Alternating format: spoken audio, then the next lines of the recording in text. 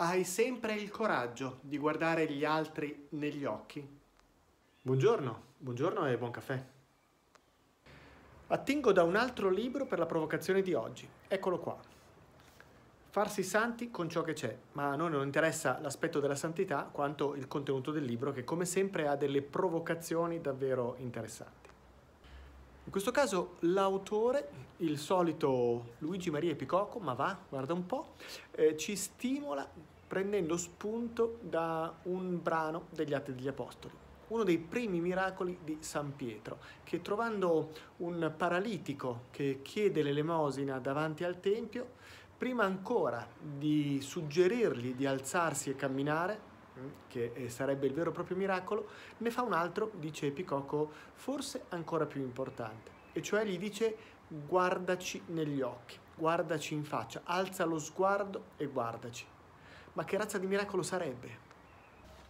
Beh, è il miracolo di restituire una relazione, perché quando è che non guardiamo negli occhi le persone? Quando è che cerchiamo di sfuggire il loro sguardo?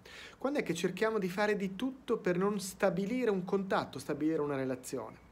Beh, i casi sono tanti, quando ci vergogniamo, quando vogliamo sfuggire la persona, quando quella persona ci infastidisce e vogliamo evitare in ogni modo che prenda un contatto anche solo visivo con noi, devo guardare di qua quindi devo cercare di guardarvi negli occhi.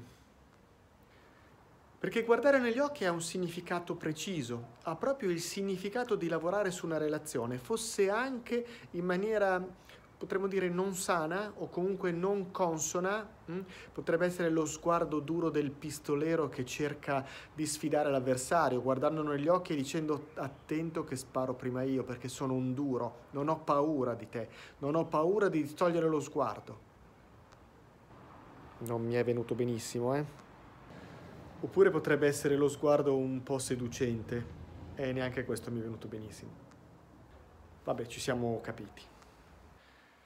Guardare negli occhi vuol dire stabilire una relazione. E allora la domanda che dobbiamo farci è quando regaliamo questa relazione, quando stabiliamo questa relazione con le persone che ci circondano, che siano clienti, che siano collaboratori che siano familiari, che siano parenti, che siano amici, quando facciamo loro il dono di guardarli negli occhi.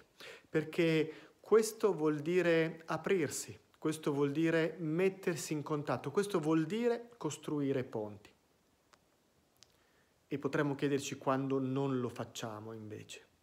E per chiudere ho un'ultima domanda, che forse è la più importante di tutte quando abbiamo il coraggio di guardarci negli occhi guardandoci allo specchio?